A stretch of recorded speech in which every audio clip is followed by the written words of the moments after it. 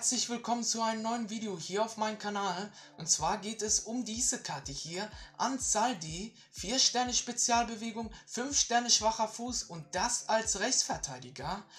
Ähm, in der Serie A gibt es vor allem nicht so viele spielbare Spieler, was Rechtsverteidigung angeht. Ähm, und das ist einer der spielbaren Spieler, würde ich mal sagen, wenn ich mir so die Stats anschaue.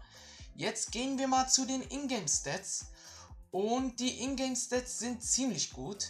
Ähm, bis auf 73 Stärke, das ist so ein bisschen das Manko bei dieser Karte.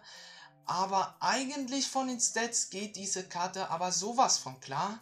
87 Sprinttempo ist ein bisschen zu low, finde ich. Wenn er 90 Sprinttempo hätte, dann wäre diese Karte noch ein bisschen attraktiver. Aber ich würde mal sagen, von den Stats ist diese Karte wirklich nicht schlecht. Und jetzt gehen wir mal zu den Anforderungen. So, und zwar brauchen wir einen Serie A Spieler, ein Foot Champion Spieler oder ein Team of the Week Spieler, 85 Rating, 65 Teamchemie und das Ganze ist eigentlich machbar. Die Karte ist nicht mehr lange da und ich würde mal sagen, meiner Meinung nach lohnt sich diese Karte nicht, eher nicht, weil man muss dafür so um die 120k vielleicht ausgeben. Und ich würde mal sagen, wenn ihr untradable Karten im Verein habt, dann könnt ihr die gerne abschließen, weil dann würdet ihr auf jeden Fall viele Coins sparen. Und ja, an sich würde ich diese Karte eigentlich eher nicht machen. Ähm, diese Karte ist auch gar nicht mal so lange äh, in der SBC drin. Und ja. Das war es soweit mit dieser Karte. Und jetzt gehen wir mal zu Marquinhos.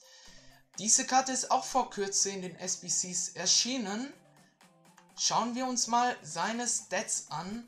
Und zwar einmal 3 Sterne Spezialbewegung, 3 Sterne schwacher Fuß. Und von den Stats sieht diese Karte gar nicht mal so schlecht aus. Er hat einen Positioning Change bekommen, ist zentraler defensiver Mittelfeldspieler. Und jetzt gehen wir zu den Ingame Stats.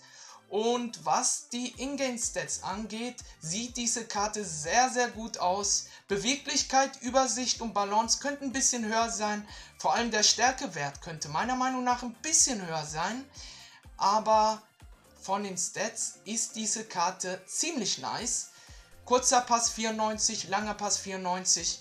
Also kann man sich da eher weniger beschweren. 81 Sprinttempo und das als zentraler defensiver Mittelfeldspieler geht eigentlich klar. Und jetzt gehen wir mal zu den Anforderungen. Und zwar brauchen wir einen PSG-Spieler, 86er Rating, 75er Chemie. Und ja, von den Anforderungen ist das eigentlich nicht so viel verlangt. Natürlich musst du 120k ausgeben, aber wenn du diesen Spieler gut verlinken kannst, dann lohnt sich diese Karte durchaus. Eine andere Variante wäre, wenn du untradable Karten im Verein hast, dann kannst du ihn dementsprechend günstiger abschließen. Würde sich auf jeden Fall auch lohnen. Und ich würde diese Karte auf jeden Fall empfehlen. Sie ist gar nicht mal so teuer. Es ist ein Brasilianer, einer aus der Liga A. Und ja, von da an würde ich sagen, diese Karte kann sich durchaus lohnen. Das war's soweit mit dem Video. Ich hoffe, euch hat das Video gefallen. Lasst doch gerne ein Like und ein Abo da. Würde mich auf jeden Fall sehr freuen. Und natürlich wird weiterer FIFA-Content auf euch zukommen. Und das war's soweit.